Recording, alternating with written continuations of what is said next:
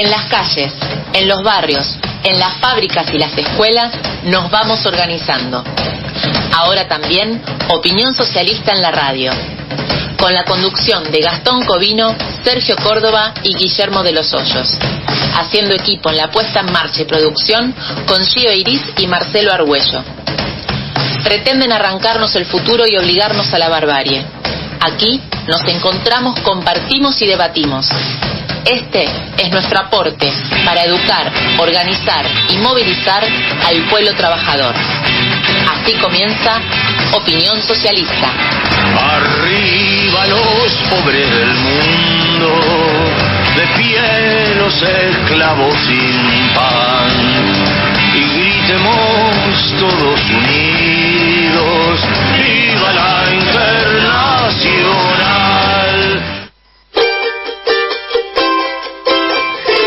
Hola, hola, hola, hola, ¿cómo andan? ¿Cómo les va? Bienvenidas y bienvenidos a un nuevo programa de Opinión Socialista en Radio para compartir como todos los sábados de 9 a 10 de la mañana por la AM 740 Radio Rebelde toda la actualidad nacional e internacional a través de nuestra mirada clasista, feminista e internacionalista.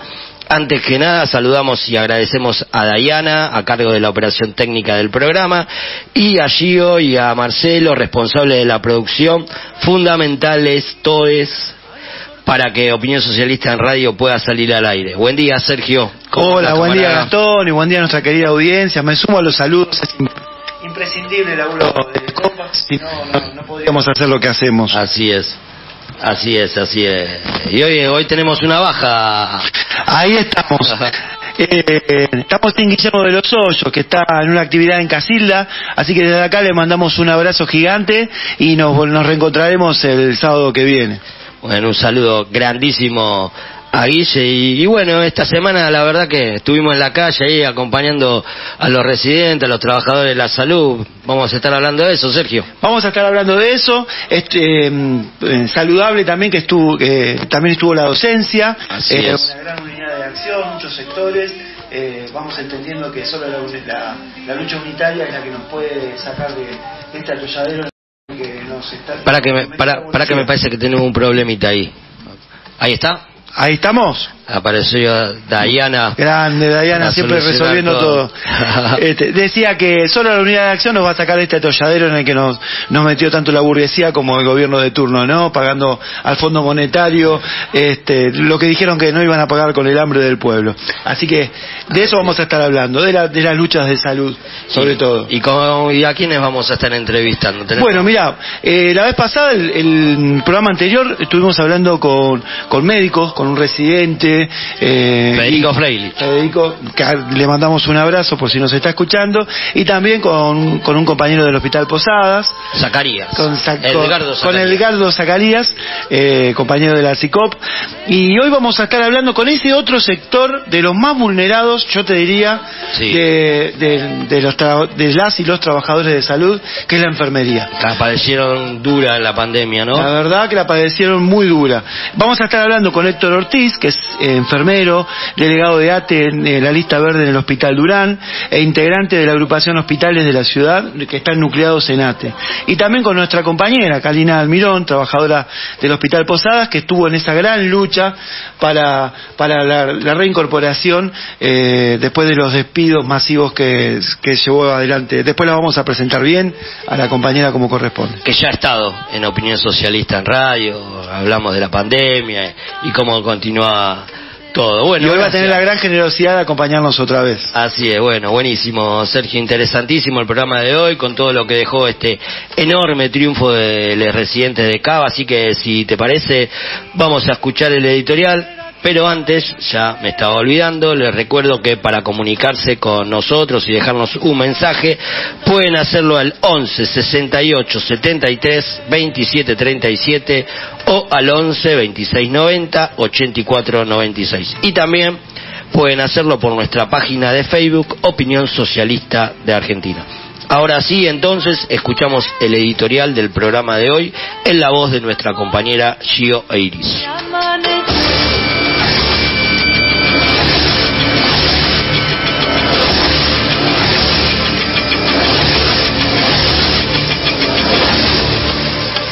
Enorme triunfo de residentes y concurrentes de Cava. La lucha continúa en las provincias. Finalmente, la reta tuvo que otorgar 200 mil pesos de bolsillo para el sueldo inicial de residentes y abrir una mesa de discusión sobre los reclamos de concurrentes. La huelga se levantó con triunfo y festejo en las calles. La enorme huelga de médicos y médicas residentes y concurrentes de los hospitales de Cava, de provincia de Buenos Aires y otras habla del profundo malestar provocado por los salarios de pobreza y un sistema de salud cada vez más golpeado por el ajuste médicas y médicos jóvenes dicen basta y salen a la lucha colectiva poniendo en pie una asamblea democrática que logró un triunfo ejemplar, construyendo por abajo un poderoso movimiento que puso en evidencia el rol cómplice de las burocracias sindicales. Después de la del neumático, esta huelga es una nueva muestra de la capacidad de lucha y resistencia de la clase trabajadora. Un proceso semejante mereció la simpatía y el apoyo de trabajadores y trabajadoras y de organizaciones. Es que para la salud pública, sujeta al ajuste del Fondo Monetario que aplica el Gobierno Nacional, y a la lógica de la ganancia de las empresas que lucran con la salud, laboratorios, clínicas, sanatorios, prepagas, la lucha masiva es el único modo de vencer. Este gran proceso se produce luego de los grandes paros y movilizaciones de docentes y comunidades de Cava contra los ataques de la reta a la educación pública y a la docencia. Este 17 de noviembre pasado, las seccionales multicolor de Suteba, en el marco de un paro muy extendido en toda la provincia, se sumaron a la movilización de las y los trabajadores de la salud, reconociendo el papel de vanguardia que están ocupando y para hacer un planteo de unidad de acción y frente único contra el ajuste es que tanto la salud como la educación están siendo sometidas al ajuste del FMI que el gobierno aplica pese a la naturaleza fraudulenta de la deuda externa. Residentes y concurrentes dieron un gran ejemplo de autoorganización de un sector importante de trabajadores y trabajadoras de la salud, les más precarizados y peores pagos, haciendo un aporte a la organización democrática de la clase trabajadora para defender sus intereses. No solo fue un desafío al ajuste, sino a las burocracias anquilosadas y entregadas en brazos de los enemigos de clase. Tanta determinación de las bases mudó la lucha sindical a la lucha política, cristalizando la bronca contra el ajuste, los gobiernos y la complicidad de las burocracias. El triunfo dará más fuerza a la salud, a la educación y a cada sector de trabajadores y trabajadoras para unir las luchas que en la ciudad enfrentan las políticas de la reta y en el país las de Massa y Fernández. Queda planteada la necesidad del paro nacional para enfrentar el saqueo de nuestros salarios y el derrumbe de nuestras condiciones de vida y de trabajo. Los triunfos son contagiosos, como las derrotas en sentido contrario, y en un contexto como el que estamos, otras víctimas tomarán la posta de la lucha y saldrán a defender el salario y los derechos. Nuestro saludo y reconocimiento a cada protagonista de este triunfo porque demostraron que el camino de la lucha colectiva, democráticamente organizada, solidariamente acompañada, es la clave del triunfo. Viva la huelga de residentes y concurrentes. Abajo el ajuste del FMI.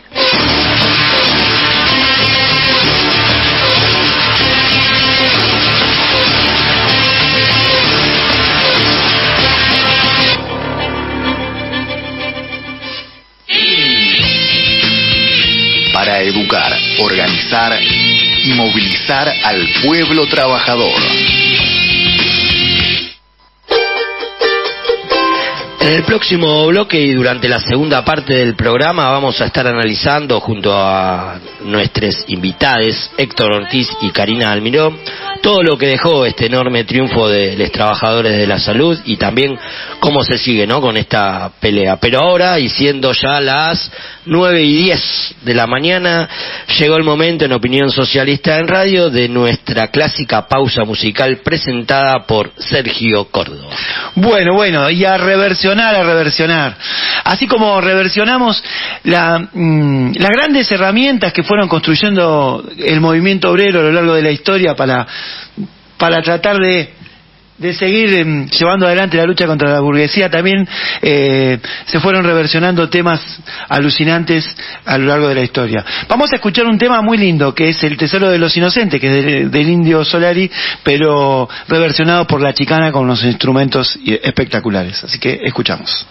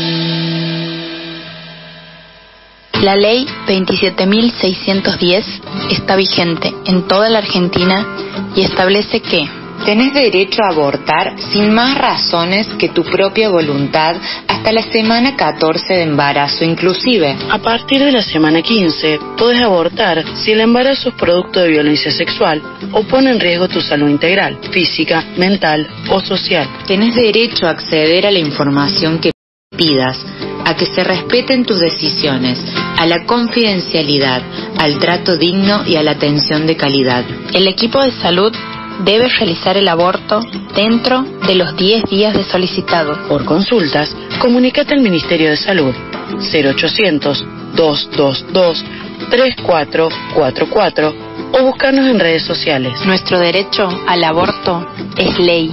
Campaña Nacional por el Derecho al Aborto Legal, Seguro y Gratuito. Bueno, seguimos en eh, Opinión Socialista en Radio por AM740 Radio Rebelde, eh, como todos los sábados de 9 a 10. Y bueno, como prometimos eh, al principio del programa, ya tenemos a nuestro primer invitado, que es el compañero Héctor Ortiz. Buen día, compañero. Buen día, ¿cómo les va? ¿Cómo va? El compañero, vos sos enfermero, delegado de ATE de la lista verde del Hospital Durán e integrante de la agrupación hospital que están nucleados, hospitales de Cava que están nucleados en ATE, ¿verdad? es verdad, tal cual, es así. Bueno, bárbaro. Bueno, vamos derecho al, tema entonces. Eh, sí, Si uno pone el ojo en las condiciones de trabajo de enfermería, enseguida aparece pluriempleo, contratos precarios, salarios bajísimos, condiciones paupérrimas y encima, acá en Cava, la imposibilidad de ser considerados profesionales, ¿no? Aunque ahora ha habido un, fallo que después vos nos vas a poder contar bien. Lo primero que te vamos a pedir es que le cuentes a la audiencia en qué situación están realmente los trabajadores de enfermería, ¿no?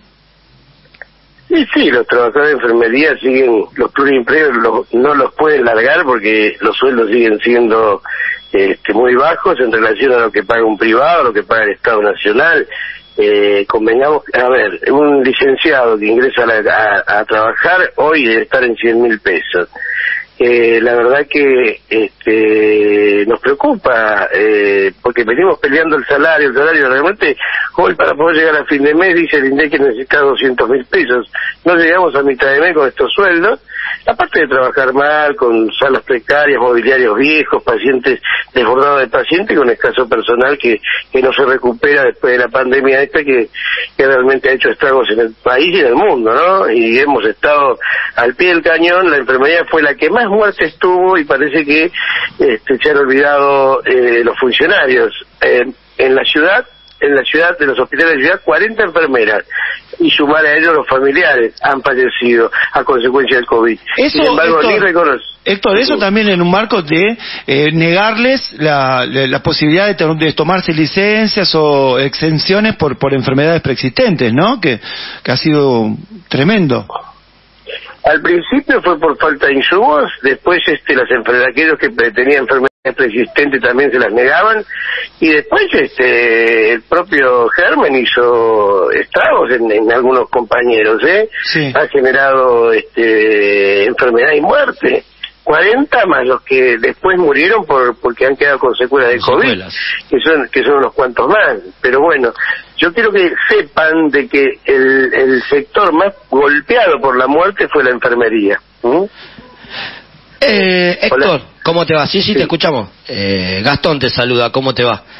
¿Qué tal, Gastón? Bien, y teniendo en cuenta esto que nos contabas de estas condiciones que, que agravadas, como vos decís, con, la pandemia, yo no tenía realmente el número que habían sido 40 las compañeras eh, fallecidas.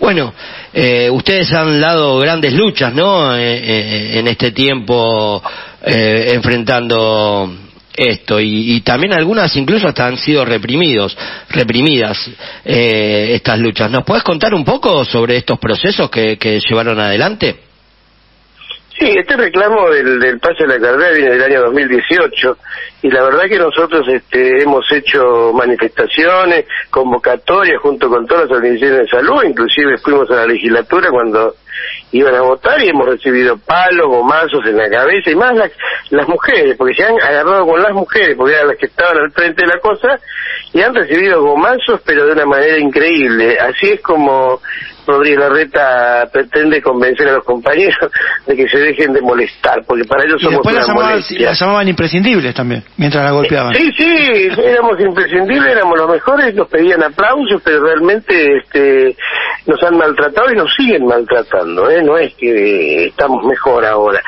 Eh, fíjate vos que había salido el fallo de la jueza López Vergara para que pasemos a la carrera, pero eh, la reta insiste en que no nos ha apelado el fallo y fue a la Cámara. Entonces vamos a esperar que dice la Cámara y, el resultado de ello. Pero es realmente el maltrato enorme que hay y la verdad que no, nos, nos llena de impotencia.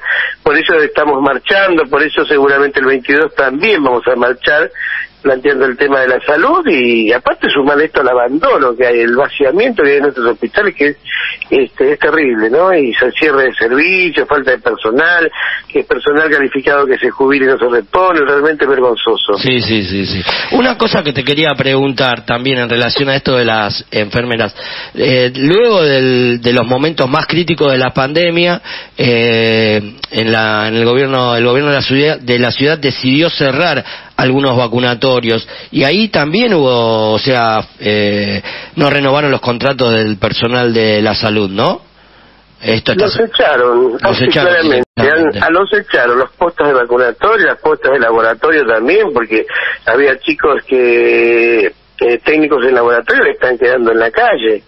¿Tenés eh, idea de cuántos eran en total? Eh, mira, yo te, te puedo dar algunos datos, por lo menos de los, habrá unos te pregunto, ¿sabes por qué? Porque no sale en ningún medio, ¿viste? Entonces es importante. No, no, no sale en ningún lado. Este, yo te doy el caso de Casacula, el caso de Durán, habrá alrededor de 10 en esos dos hospitales. Y sumar al resto de hospitales, yo creo que estamos cerca de los 50, 60 compañeros que van a quedar en la calle. Van a llamar a concurso, van a ingresar el 20% del resto de la calle. Realmente este, no tienen la más mínima sensibilidad hacia aquellos que vieron todo, ¿no? Y así como la persecución que lo frenan, la persecución con aquellos que reclaman, el caso de las cesantías por reclamar, el caso mío, el caso de 10 compañeros más que han dejado cesante y todos delegados de ATE, ¿no? Es, es así como, como quiere gobernar este Rodríguez Larreta y así se quiere enfrentar al país también. Parece que no puede atender la salud, no puede atender la educación en capital, pero quiere gobernar un país. La verdad que ha hecho un kiosco de cada situación que ha tocado, ¿no? Sí, eh, realmente. ampliando un poquito más esto que decías de de, los compañeros eh, cesantes que han cesado y todo esto, eh, ¿cómo son las contratas? Lo, digamos que... Eh, ¿Cómo es la, ¿En qué consiste la precarización? ¿Cómo son los contratos que, que tienen la mayoría de los de, de eran, contratos que, mm, eran contratos que se renovaban cada tres meses, ¿no? Por el tema de la pandemia, pero bueno, no es que, a ver, porque ellos dicen que sobran que eso es una enorme mentira. La enfermería es un recurso escaso, muy necesario. Hay salas vacías, hay salas, perdón, hay salas llenas con poca enfermería. Este, el caso de Casa Cuna, que también este, vemos que las compañeras del fin de semana, a veces hay una o dos enfermeras con 20, con 30 chiquitos, ¿no? Y es, es enorme el trabajo que hay que hacer así en las salas generales del hospital, de los hospitales, donde una enfermera a veces se queda a la noche con 20 pacientes adultos. La verdad que es una vergüenza lo que hacen con, la enfermería y, y, y por eso este, estos contratos lamentables, porque encima les no van cada tres meses y cuando los llaman a concurso hacen un concurso abierto. Ni siquiera respetan a la gente que ya estuvo trabajando. Realmente eh, preocupa esa forma de, manejarse. Nosotros estamos eh, en pie de guerra con esta situación porque no puede ser que, que, que recibamos tanto maltrato de parte del Ejecutivo de la ciudad, ¿no? Digamos que el Estado es el primer precarizador, ¿no? Totalmente, el primer precarizador, el primero que, que desatiende la salud, el primero que intenta, no sé, yo creo que intenta llevar toda la salud privada, porque no tenemos ni siquiera un resonador propio, tomógrafo propio, con el dinero que recauda la ciudad, tercer presupuesto más alto del país. La obra está vaciada, la obra social de los municipales somos 300 mil. Hoy dudamos dónde vamos a ir si nos enfermamos. Realmente vergonzoso. El director está conformado por eh, la ciudad, Y médicos municipales. Y realmente desastrosa nuestra obra social. Tengo entendido que eh, son 33 los hospitales, ¿no? En, en Capital, si no me equivoco. ¿En Cava? 34. 34, 34. 34. Se ha sumado uno más que es el Cecilia Grierson, creo que está ya por Lugano. Mm. Eh, pero son 34. Te pregunto eso, ¿sabes? Sí, sí, decime, decime. No, eso te quería ah, decir de, ah, dos. ¿Sabes por qué te decía esto? Porque yo soy trabajador del PAMI. Y bueno, en este sentido te imaginas cómo estamos, ¿no? También. Mm, y lo, lo, que te, lo, lo que me parece esto que vos decías, que la enfermería es un recurso escaso, bueno, en el PAMI faltan enfermeras por todos lados, no solamente en los, en lugares donde atiende PAMI, eh, digamos en los, en los efectores propios como el Milstein o también los policlínicos de Rosario, sino también en los geriátricos y hay una precarización total y, y, no hay enfermeras. Yo hace 33 años entré al PAMI y cada vez hay menos, menos y, y no, y no, no contratan y si contratan, no contratan en planta permanente y van eh, con contratos basura, ¿no? Contratos de esto que estamos hablando, precarización total. Sí, sí, tal cual. Fíjate vos que nosotros, eh, nosotros, la ciudad este, tiene una escuela de enfermería, que es la escuela Cecilia Grierson, que queda ahí al lado del Durán. Sí. 300 enfermeras por año de este forma. Y en vez de eh, incorporar al sistema, porque es gratuito eso, ¿eh? Sí, sí. Eh, gratuito, o sea, paga el ciudadano, porque eso se hace con los impuestos del ciudadano. en vez de incorporarlo a nuestros hospitales, no los absorbe. Antes los absorbían automáticamente y eso evitaba de que tengamos escaso personal. Pero hace 12 años que, que, que nos desvincularon con esa escuela, igual que las residencias. Residentes, yo, yo hice una residencia de enfermería y, y la verdad que así muchos residentes que, que hacen la especialización terminan su residencia y se van cuando los tiene que incorporar al sistema. Y ese mecanismo lo utiliza el gobierno de la ciudad hace rato que viene echando a nuestra gente, porque no es que no hay enfermeras. 300 enfermeras por año está formando la escuela Cecilia Grieso se van al sector privado, se van al sector nacional, se van al sector provincial, pero la ciudad no entra. Héctor, hemos visto eh, el gran triunfo en estos días de los residentes, ¿no? Que aunque todavía hay mucho por resolver, como reclamo, ah, hay mucho, sí, falta todavía. los reclamos de los concurrentes, pero ¿cómo siguen las luchas? Vos hace un rato tiraste una puntita. ¿Cómo siguen las luchas de, enfermería en la perspectiva, digamos, de la unidad de acción que, entendemos nosotros es eh, el, el único mecanismo que nos va a asegurar una posibilidad de triunfo, ¿no? Mira, ya el, martes mismo, el 22, va a haber una movilización por el Día de la Enfermera. El Día de la Enfermera es el 21 de noviembre, donde vamos a plantear el tema del pase de la carrera, salarios, porque si bien los residentes han arreglado, el resto de escalafón sigue ahí, el, escalafón general, no solamente las enfermeras, nuestros camilleros, nuestros técnicos. Sí. Administrativos sí, siguen con sueldos compérrimos. Los concurrentes no tienen nada, nada. pobres, eh, nada, no tienen nada Sí, sí. Ni siquiera la comida le dan. Claro. Entonces, este, eh, hay que seguir la lucha, porque este, evidentemente Rodríguez Larreta no suelta nada si no le paras en serio, si no le mantienes esa cuestión. En serio. ¿Y el 22 dónde es que va? El 22 movilizamos este, al Ministerio de Salud de la ciudad, y se va a juntar la enfermería, se va a juntar parte de los residentes, se van a juntar distintas, la CTA también, vamos a movilizar para ver si este jefe de gobierno este, entiende de lo que está pasando con la salud, con las enfermeras, con el personal en general, ¿no? Sí, sí, sí. Una, una, estuvimos hablando todo, eh, toda la entrevista sobre eh, asomó, pero me gustaría aclarar bien este, esta problemática del, del pase a la carrera profesional. Eh, volver a explicarlo. Yo sé que lo has explicado mil veces, pero el público se renueva, dice una reaccionaria que sale por la tele eh, explicarte eh, ¿cómo, es, ¿cómo la... es la problemática de, mm, eh, que los eh, a, la, a, la, enfermería están consignados como empleados administrativos claro a ver para que entienda el, el público digamos en el, general. el público a ver. En la enfermería tenés tres niveles. Tenés el auxiliar de enfermería que es un curso de nueve meses. Tenés el técnico profesional que es dos años y medio a tres. Y tenés el licenciado de enfermería. Y tenés el licenciado de enfermería. El licenciado de enfermería es el que tiene que pasar a la carrera profesional porque tiene un nivel universitario. Estamos hablando de 5.000 licenciados de enfermería. ¿Sí? y el resto obviamente se sigue formando, porque este esfuerzo no lo han hecho en, en, dos años. Con dos trabajos han logrado terminar su universidad, se han recibido, y la ley 6035 dice claramente que aquellos que tienen nivel universitario, con título de universidad de, la ciudad, de las universidades privadas o nacionales, tienen que estar en esta carrera. Fíjate vos que en la carrera hay 25 profesiones. Yo a veces lo escucho a la reta decir que es solamente una carrera médica.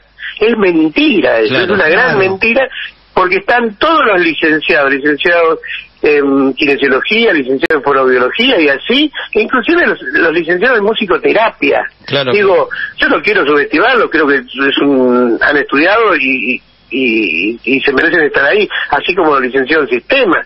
Pero un enfermero que es licenciado en enfermería no está en la carrera profesional. La verdad que no es una carrera histórica la licenciatura en enfermería. Eh, está en la UBA hace un montón de tiempo, es una carrera histórica. Eh, grandes personas, grandes profesionales han salido de ahí. Por supuesto, ahora en enfermería tenés, este, hay maestrías, hay doctorados, este, no, no, este está muy bien formada.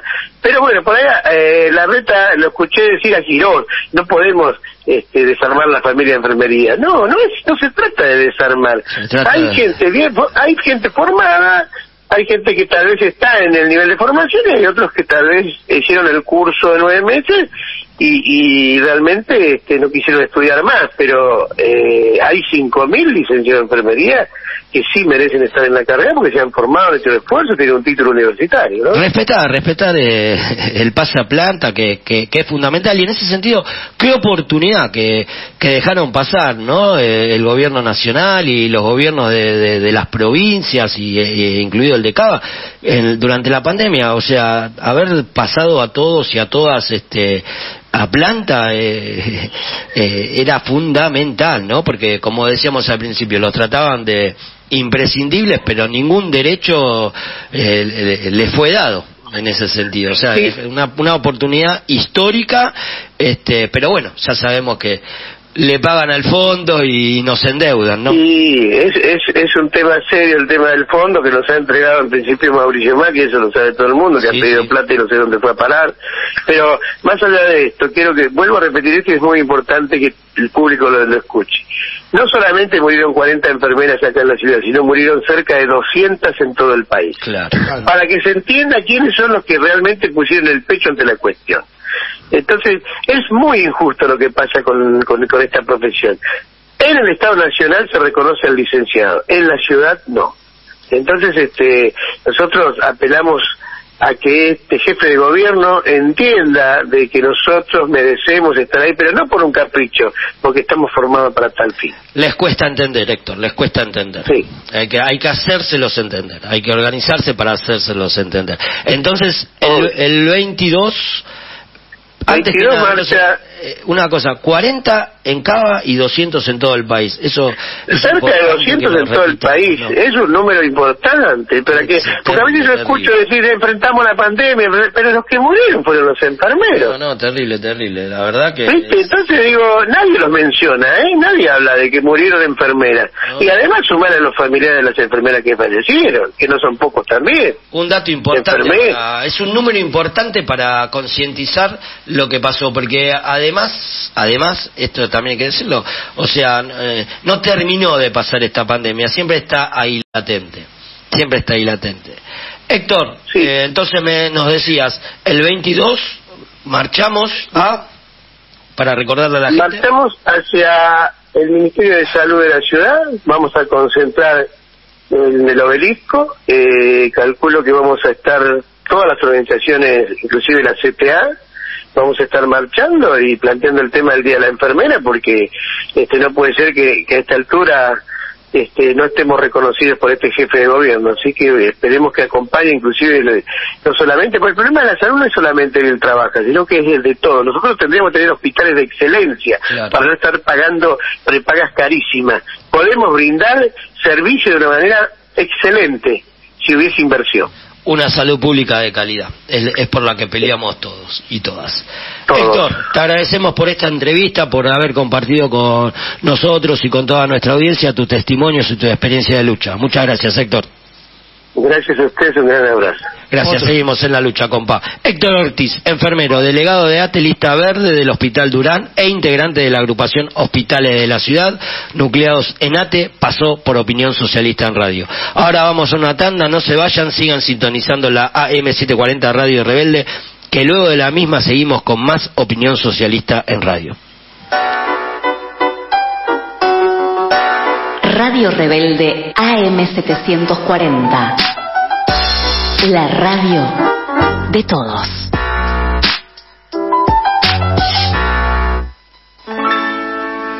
En el laberinto. Manías, música y propuestas siempre por arriba. El programa de la familia Calcaño. El padre, Alfredo y el hijo, pensadores nacionales y populares. En el laberinto. Con la coordinación de Néstor Picone, produce Federico García Blaya. Ordena el aire Elisabetta Machado. De lunes a viernes a las 11 horas. Los Calcaños juntos. En el laberinto. Bajo la luna de cada lunes, te invitamos a nuestro ritualito, un espacio de encuentro de almas donde todos somos una. Ritualitos que tiene uno para vivir. Un lugar donde vamos a recordar y compartir las prácticas del buen vivir, pensamiento, amor, arte y salud. Te invitamos a tejer juntos esta red mágica que se genera en el encuentro de las almas. La Bruja Blanca, Ana Carolina y su hermaga, María Sol, te esperamos para compartir todos los lunes de 22 a 24 en Radio Rebelde. Corresponsales intergalácticos de la Escuela del Buen Vivir, Oscar Matot y Rosario Palma.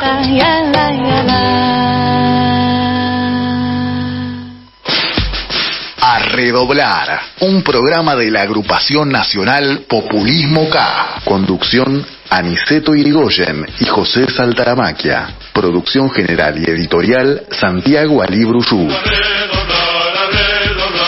Los jueves, de 21 a 24, a redoblar. Un programa federal y anticolonial. La buena lectura ilumina.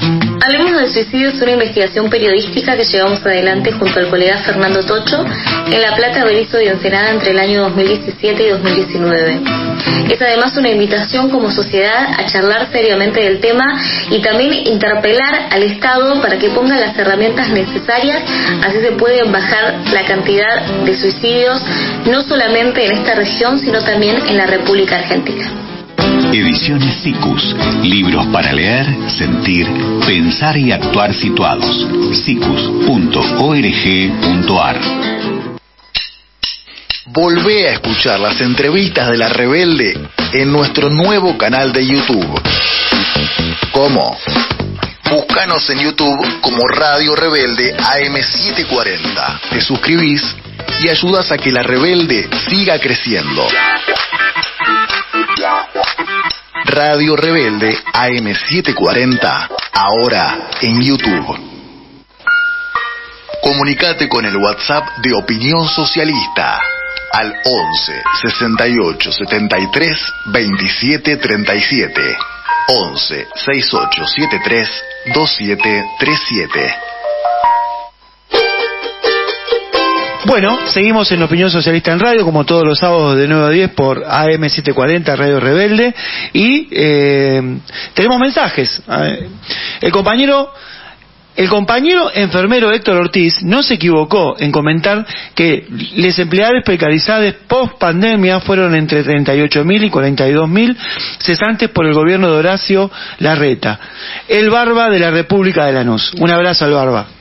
Gracias, Barba, y, y qué importante, ¿no? Este triunfo conseguido por los residentes de Cava, y qué importante además lo que ocurrió el jueves, donde, donde estuvimos, ahí nos encontramos, Sergio, que a pesar del triunfo, el paro de los trabajadores de la salud se mantuvo, y la marcha del Congreso a Plaza de Mayo fue, digamos, podemos decir, contundente, ¿no?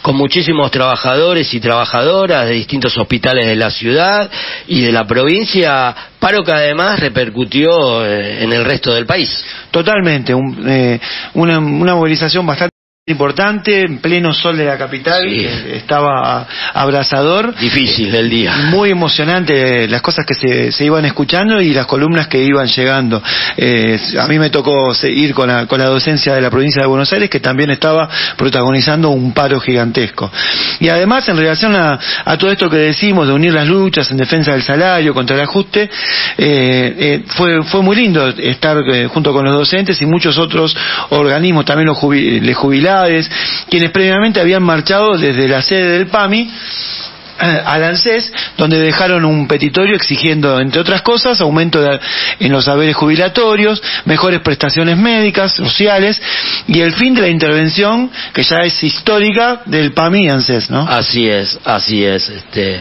estuvieron ahí los los compañeros y las compañeras jubiladas, este, la verdad que también tuvieron un- una marcha terrible, ¿no? Porque fueron desde la sede del PAMI, como decías, hasta la sede, después a Plaza de Mayo. La verdad que es este eh, admirable la- la- lo de las y los compañeros jubilados. Y en relación a la lucha de, de les docentes, tenemos también un audio para compartir, eh, donde vamos a escuchar, porque esto de la lucha docente es a nivel eh, país, ¿no? Igual que lo de, la, que de la salud. salud, ¿no? Exacto. Y en este audio vamos a escuchar a una mamá de una, a un alumno de la escuela 357 de la comunidad mapuche Painefli, Painefilú, perdonen si lo dije mal, Painefilú Malleo, que queda a 25 kilómetros de Junín de los Andes, Neuquén, quienes hace ya 82 días que no tienen clases. ¿Escuchamos el audio? Sí, hola, buenos días. Eh, primero saludar a toda la audiencia de esta emisora. Bueno, eh, mi nombre es Mercedes, soy una mamá de la escuela 357. Eh, bueno, por ahí queríamos hacer un poco público lo que nos está pasando como institución escolar. Hace ya eh, 82 días que estamos sin, sin clase. Eh, por ahí, para contarle un poquito a la audiencia, eh, nosotros somos de una comunidad, somos de la comunidad Painefilú, que se encuentra más o menos a 25 kilómetros de Junín de los Andes. Y nuestra escuela eh, tiene un periodo lectivo que es eh, septiembre-mayo, así que eh, aún eh, a estos días no hemos podido comenzar el ciclo lectivo, así que por diferentes situaciones que fuimos, o sea, que fue viviendo la escuela, ¿no? En principio, problemas de la no carga de gas, bueno, que vinieron, cargaron el gas y siguieron, siguieron surgiendo otros problemas. eh, así que, eh, dado a eso, eh, todavía no hemos podido comenzar el ciclo lectivo, que es un total más o menos de 82 días que estamos sin, sin clase nuestros niños y niñas. Así que eh, queremos hacer público esto para que, bueno, los gobiernos y, y tanto lo que tengan que ver con los derechos de los niños y demás eh, puedan tomar carta en el asunto. Así que eh, estuvimos también en el día de, de ayer con una panfleteada en uno de los puentes que, está aquí en la comunidad, así como para visibilizar un poco toda esta situación. Así que, bueno, desde ya muchas gracias, agradecerle por el espacio, por esta posibilidad de que nos dejan salir al aire y, y hacer público esto, así que muy agradecida por eso. Hasta luego. Lo que son los dobles discursos, ¿no? En la provincia de Buenos Aires y en Cava intentan prolongar la cantidad de días de clase a cualquier costo, sin condiciones, digamos, porque las escuelas están hechas bolsa, eh, convirtiéndolas en verdaderos depósitos de, niños. Y a los mapuches no les garantizan ni siquiera el ciclo lectivo. Más ajustes en educación y salud en todo el país, mientras le siguen pagando al Fondo Monetario una deuda, como decíamos hace un rato, absolutamente ilegal, que dijeron que no iban a pagar, ilegítima y fraudulenta. Todo el apoyo a la lucha de les compañeros de la comunidad mapuche Paine, Paine Flu. Todo el apoyo a las y los compañeros de la comunidad. Y bueno, son, a ver, 43 minutos, pasaron ya desde las 9 de la mañana. Y ahora sí, como anticipamos al inicio del programa, para hablar de todo lo que dejó este enorme triunfo de los de los residentes de CAO y también de cómo sigue la lucha de los trabajadores de la salud, está con nosotros nuevamente, podríamos decir, Karina Almirón, trabajadora del Hospital Posadas, tres veces despedida secretaria de Organización, Actas y Género de la, de la CICOP FESPROSA, del Hospital Posadas y militante de Opinión Socialista. Buen día, Cari, ¿cómo andás, compañera? Estás muteada ahí, estás muteada, a ver. Ahí está. Ahí Buen día, ¿qué tal? ¿Cómo andan? Hola, Cari. Gracias por llamarme. No, no, gracias a vos por, a- por atendernos, Cari. Eh, y sabemos que, que tenés que irte a trabajar, que así que vamos a arrancar ya mismo con la entrevista. Estamos acá con Sergio y bueno, en primer lugar, Cari, te queríamos preguntar, ¿no? ¿Qué, qué nos puedes decir sobre este enorme triunfo de los residentes de Cava? ¿Cómo crees que impactará este triunfo en el resto de, los trabajadores de la salud del país? Que vale decir hace rato vienen enfrentando el ajuste de este y de todos los gobiernos, ¿no? Sí, eh, la verdad es que eh, fue una vez más demostrar que luchar vale la pena, ¿no? Que como dicen, luchar garpa y vale la pena porque es la única manera de conseguir que se garanticen nuestros derechos. Eh, digamos, es muy difícil a veces en el tema de la salud decidir hacer un paro porque quedan un montón de pacientes sin atención y nosotros tenemos conciencia de eso, pero salimos a pelear porque ya no nos queda otra y hace rato venimos reclamando, por ejemplo en el caso de los residentes tuvieron eh, un montón de días de paro continuo hasta que pudieron lograr resolver lo que ellos querían que era el aumento de sueldo, que se reconozca el trabajo que están haciendo y que hicieron durante la pandemia además. Entonces eh, demostramos una vez más que, que organizados en las calles es la manera que vamos a conseguir la conquista de todos los derechos. Cari, ¿qué te pareció el paro del jueves y qué importancia le das a esta unidad que se da entre trabajadores de la salud y otros sectores? Bueno, para nosotros fue importante, fue un día en el hospital en particular, fue una jornada de paro y movilización. Eh, hicimos un paro de 48 horas eh, con el mantenimiento de las guardias mínimas y en todos los sectores, digamos, en el hospital se amplió desde el sector médico hasta todo el equipo de salud, eh, técnicos, enfermeros, administrativos, porque estamos todos en las mismas condiciones, eh, que son condiciones muy, eh, como muy precarias todavía. La mayoría, el 90% contratados, muchos monotributistas. Los monotributistas ganan la mitad de lo que gana un contratado, que ya de por sí es poco. Eh, bueno, una serie de, mm, de cuestiones, de reclamos que venimos haciendo, además de lo salarial, eh, que tiene que ver con años de diferentes gestiones y gobiernos que no solucionaron, sino que empeoraron la situación. Eh, y el paro fue muy importante, fue altamente atacado, a- acatado, perdón, acatado. También fue atacado. También fue atacado, sí. También, también, Vale también. Ahora después les voy a contar eh, que hubo represalias en el hospital, Ah, concretamente con los con los residentes. eh, que también se adhirieron al paro los residentes del hospital y fueron a la movilización al ministerio y a Plaza de, a Plaza de Mayo. Eh, bueno, ellos no cobraron esta semana la autogestión que cobramos el resto de los trabajadores. Ellos lo venían cobrando eh, porque se había dicho, según la dirección del hospital, que era un acto de justicia, que los residentes cobren ese, esa autogestión, porque ellos generan dinero, digamos, para el hospital, porque son quienes sostienen el hospital atendiendo a los pacientes. Y bueno, no cobraron. Eh, no se sabe quién dio la orden. Ayer estaban todos los residentes en estado de alerta y movilización. Desde SICOP estamos acompañando su reclamo desde el primer minuto y bueno, vamos a tener la semana que viene, el día martes, una nueva reunión con la dirección para ver cómo resuelven esto que no fue ni más ni menos que una represalia.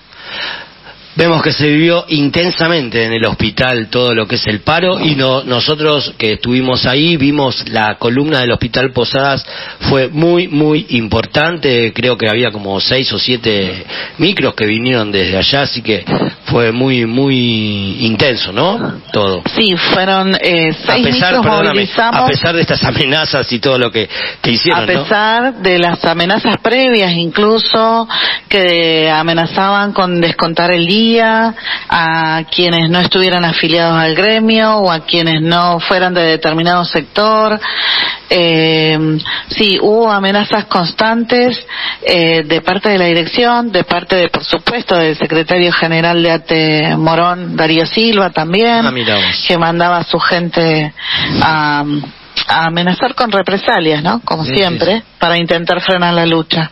Bueno, no lo pudieron hacer y la verdad es que hacía años que no había una movilización de ese tipo eh, con todos los trabajadores del hospital en la calle. Escúchame, Cari, una cosa más también. ¿Cómo esto, porque bueno, estamos hablando del Posadas, todo, pero también cómo repercutió, cómo, cuál fue el apoyo en, los otros hospitales de, provincia, ¿no? Porque hemos visto también de, en capital muchos hospitales, pero bueno, vale la pena también mencionar en, en provincia, porque si no siempre estamos hablando de capital, capital, la reta, la reta, pero bueno, provincia la situación está también de- igual sí, que sí. de mal que en Cava, ¿no? Y en todo el país. Sí, el, el, el Eril de Escobar, el Güemes de Aedo, en San Martín, eh, en Pilar, Pilar. en Mercedes, en, en, digamos, en los hospitales de provincia también estuvieron, no de- no llegaron a hacer paro, digamos, no convocaron, llegaron a convocar al paro, pero sí estaban movilizados, eh, hicieron actividades en sus, algunos fueron a Plaza de Mayo y otros hicieron actividades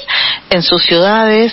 Este, la verdad es que en todo el país la salud está en peligro, la salud del pueblo pobre es la que está en peligro, porque nosotros eh, quedamos devastados por lo que fue mm, los cuatro años de macrismo, más la pandemia y los diferentes gobiernos que no nos solucionan ningún problema. La mayoría de nosotros tiene dos y tres y hasta cuatro trabajos, lo que se llama el pluriempleo, y no hay manera de sostener una vida así. Este, yo en lo particular tengo tres trabajos, porque si no, no vivo. La verdad es esa. Eh, bueno, y eso es lo que les pasa a la mayoría de los compañeros. Los que no tienen más, más de un trabajo están haciendo horas extras. Y es lo mismo, digamos, ¿no? Este, estamos trabajando a full y no damos abasto. Y a su vez, eh, si no nos dan unos sueldos mejores, no podemos dejar algún trabajo para decir trabajamos en mejores condiciones. Cali, la a- última. Ah, no, no, dale, dale, ter- termina, discúlpame. No, no, además de la precariedad. Claro. Yo hace 20 22 años que estoy contratada y hicieron un llamado supuesto concurso para planta permanente y entraron los acomodados de, de Darío Silva. Claro. Que es el que, recordemos, que es el que amenazaba. Claro. ¿no? Que es el burócrata que mandaba a su Burócrata gente a de- amenazar. El burócrata El que armó, y además el que armó las listas de despido durante el macrismo. Exacto. Y el que nos cagó a palo, hay que decirlo Sí. así, en Sí, varias sí, sí. oportunidades. Lindo nene. Sí, sí. sí. Cali, ahora sí la última. ¿Cómo continúa toda esta lucha? Contra el ajuste de los gobiernos y el FMI, ¿no? Bueno, nosotros en particular desde el hospital, la semana que viene ya vamos para las 72 horas de paro, em, martes, miércoles y jueves. Va a haber actividades los tres días, va a haber actividades, vamos a hacer diferentes actividades, va a ser, por supuesto, una ronda, como veníamos haciendo, este, además de la ronda, va a haber em, alguna otra actividad que vamos a pensar en el hospital y otras fuera del hospital, pero además de eso, eh, nosotros estamos denunciando que no queremos eh, que la plata del Estado y del pueblo se vaya para pagar la deuda, sino para pagar los sueldos y la salud de nuestro pueblo, ¿no es cierto? Igual que la educación, Totalmente. igual que que, que todo lo que lo que mm, tenemos que resolver en nuestro país, en la clase trabajadora, eh, lo podemos hacer con la plata que quieran destinar al Fondo Monetario. Exactamente, exactamente. La deuda es, como decimos siempre, ¿no? la deuda es con el pueblo, con la salud, educación, con los y las jubiladas, no con el fondo. Sí, ¿no? exactamente. Así es, así es. así es, Exactamente. Cari. bueno, Cari, las rondas que ustedes hacen siempre, además de esto de las 72 horas, son todos los jueves a las 12 del mediodía, ¿no? Hace Sí, ya como así 5 o es, 6 semanas y, que con esto. Y bueno, este, siempre estamos en estado de asamblea permanente también, así que seguramente vamos a estar avisando las actividades que salgan. Y siempre atentos a, bueno, aparentemente reuniones en el ministerio que ahora se acuerdan, incluso en el hospital que no nos recibían, ahora se acuerdan que existimos. Claro, no quieren que, esto, que, que, que, lo de los residentes, por eso lo, lo, lo frenaron rápido, ¿no? No, quiero que este, no quieren que esto se extienda, ¿no? Entonces van cortando Claro. todo, ¿no? Es una Sí, política sí. que tienen, porque quedó demostrado con lo, lo de los residentes, con lo del SUNA, que el que pelea consigue, porque la verdad que esa es lo que, lo que hay que hacer, eh, organizarnos para tirar abajo este,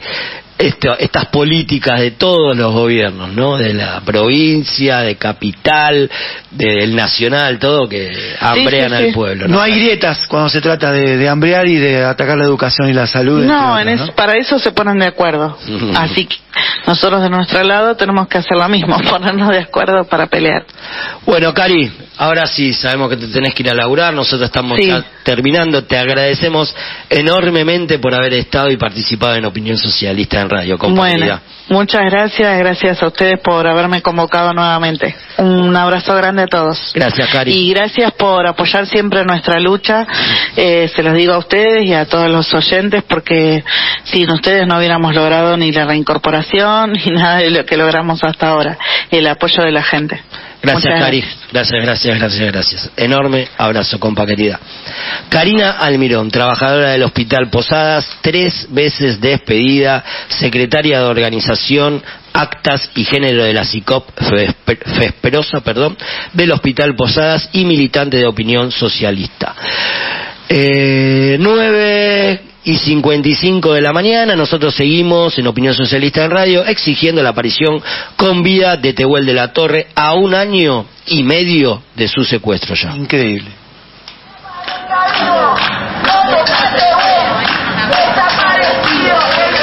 ¿Dónde está Tehuel de la Torre? ¿Dónde está Desde Opinión Socialista nos preguntamos dónde está Tehuel y exigimos su aparición con vida ya. ¿Dónde está Tehuel? está Tehuel? El Estado es responsable.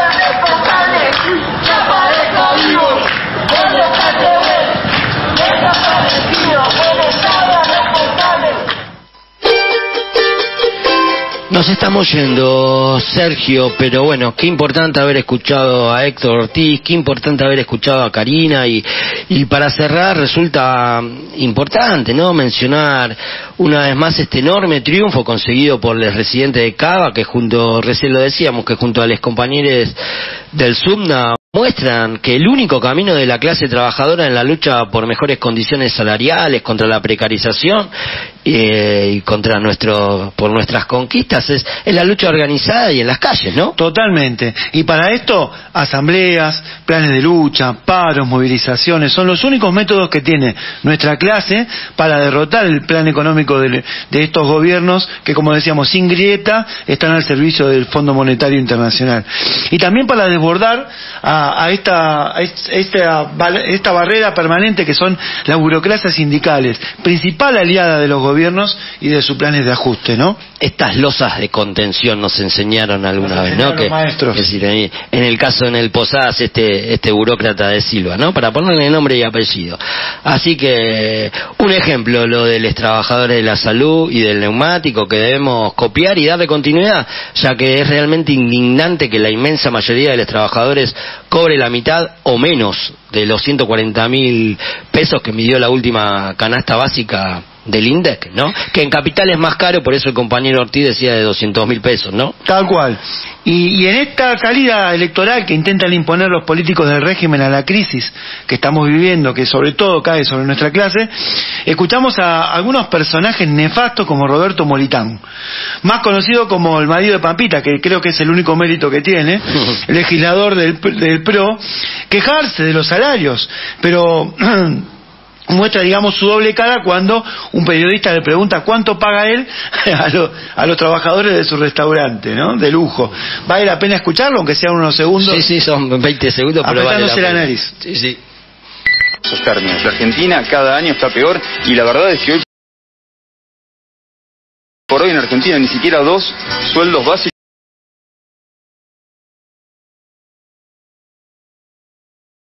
Es que hoy por hoy en Argentina ni siquiera dos sueldos básicos te alcanza la canasta básica. ¿Cuál es el salario que promedio que se paga en un restaurante tuyo? No sé, si puede estar en el orden de los 70 mil pesos, más la propina, debe estar este, 70, 80 mil pesos. Estamos hablando de un sueldo que está cerca de la mitad de lo que es la canasta básica eh, que mide el INDEC. Impresentable la verdad, ¿no? Y como decía, me hace reír. Y como decía, bah, me hace reír, pero la verdad que No, es, eh, impresionante. para no llorar. Claro.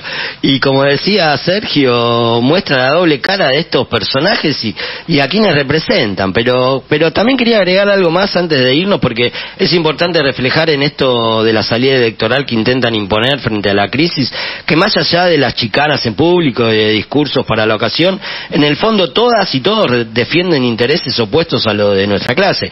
Y un claro ejemplo de esto es lo que dijo en el acto del Día de la Militancia Cristina Fernández de Kirchner, ¿no? Sobre Milei, cuando alertó que, que este, que, que Milei eh, había declarado que Menem fue el mejor presidente, pero se olvida que su esposo en un acto en Santa Cruz, frente a una multitud, este, también señaló que Menem era el mejor presidente. Y lo dijo en momentos en que vendía todas las empresas del Estado, ¿no? Sí, y después se llevaba el dinero a, a un paraíso fiscal. Queda claro, más allá de las peleas mediáticas, digamos, para la tribuna, como decías vos recién, que ninguna solución saldrá de nuestra, sal- saldrá para nuestra clase de estos personajes. Defienden otros intereses y lo único ahora si nos vamos, es que esta pelea en defensa de la salud pública ya trasciende fronteras. Fue importante ver estos días la lucha de los trabajadores de salud en España, enfrentando el ajuste eh, feroz que Díaz Ayuso, presidenta del Partido Popular de la Comunidad de Madrid, gran aliada de Macri y de Milei, aplica sobre la, la salud en España, ¿no? Terrible, terrible marcha